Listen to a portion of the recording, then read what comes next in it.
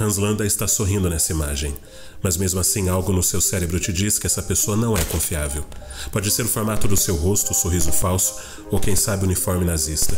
O fato é que uma parte do seu cérebro te avisa que este homem é perigoso e que você tem que tomar cuidado com o que fala perto dele. E neste vídeo, damas e cavalheiros, eu vou analisar uma das cenas mais angustiantes do cinema contemporâneo, uma combinação rara de roteiro perfeito, diálogos de primeiro, segundo e terceiro nível e uma atuação impecável, resultando naquele que muitos consideram o maior vilão de todos os tempos. E você vai entender como é que Hans Landa com seu sorriso tão simpático, consegue ser muito mais assustador do que monstros e demônios de filmes de terror. E o primeiro motivo é porque Hans Landa é um monstro possível.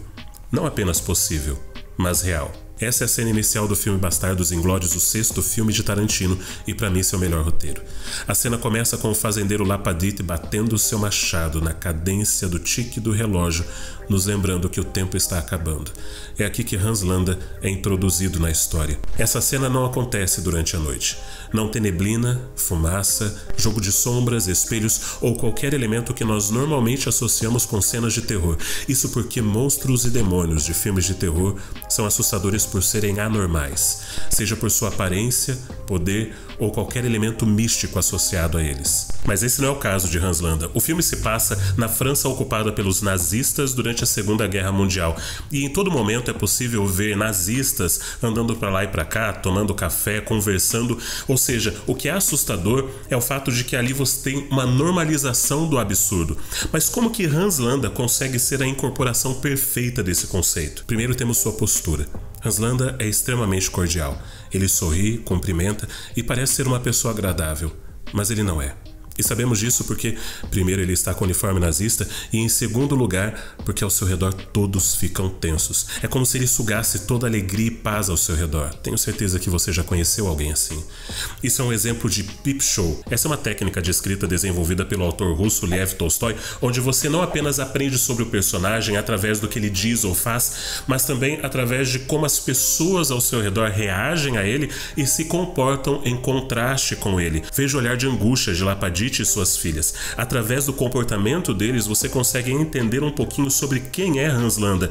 Não é apenas desconforto, eles estão com medo. É claro que esse medo é aumentado pelo fato de eles estarem escondendo judeus debaixo da casa, mas logo você vai descobrir que eles já sabem da fama de Hans Landa e isso os deixa apavorados. Durante todos os momentos, Hans Landa está em posição de autoridade. Ele pede leite para beber duas vezes, mostrando como ele está ali para ser servido. Lapadite até pede autorização para fumar em sua própria casa. Os movimentos de Landa são calmos e precisos. Ele não corre, não se desespera. Mesmo quando Xoxana foge, ele lentamente mira e desiste de matá-la naquele momento. Poucos segundos antes, ao matar sua família, ele diz adieu, que quer dizer adeus em francês. Mas agora, ao ver Xoxana fugir, ele diz: Au revoir, Xoxana! O revoar quer dizer até mais, ou seja, ele sabe que eles vão se ver novamente. Você já reparou que muitos dos grandes vilões, eles nunca correm, eles sempre andam? They walk. They never run. You ever notice that? Assim como os grandes vilões, Landa sabe que o seu grande poder vem de colocar medo no coração de suas vítimas, porque dessa forma elas vão cometer erros, vão tropeçar, cair, se machucar, ficar presas em algum lugar ele vai conseguir alcançá-las. Ele é conhecido como caçador de judeus, então ele vai caçá-la, ele vai seguir as pistas até finalmente conseguir reencontrá-la. O comportamento de Hans Landa é intimidador. Ao encontrar com as filhas do fazendeiro, ele detém seu olhar várias vezes nelas, especialmente em Charlotte. Ao fazer isso, o subtexto é claro. Se você não for honesto, suas filhas sofrerão as consequências. Mas e quanto aos diálogos? Aqui é importante ressaltar que, segundo Tarantino, Hans Landa era o detetive antes da guerra e por isso aqui ele consegue aplicar técnicas de interrogação para conseguir extrair a verdade do fazendeiro. Isso ele faz primeiro com perguntas de controle, perguntas comuns normais para as quais Lapadite não precisa mentir. Assim ele consegue entender qual é o padrão de resposta de Lapadite quando está dizendo a verdade. E aí ele vai aumentando a atenção com as suas perguntas para finalmente fazer a pergunta que importa, e então ele vai conseguir perceber a aberração no padrão de respostas de Lapadite. Quando Lapadite parece estar confiante de que ele conseguiu enganar Hanslanda, este lhe pede mais um copo de leite e pergunta: People of France have given me? Ao fazer isso, Hanslanda força o fazendeiro a reconhecer em voz alta o perigo que está enfrentando. Então Hanslanda faz um discurso sobre como ele sabe como os judeus pensam e por isso consegue caçá-los com tanta eficiência. Lapadite já não está tão confiante como antes. Ele percebe que foi descoberto. Agora nós vemos a verdadeira face de Hanslanda, o sádico, cruel e oportunista Hanslanda. Hanslanda já sabia que a família estava debaixo daquela casa. Por que, é que ele simplesmente não chegou com seus soldados, atirou e matou, como era o propósito dele?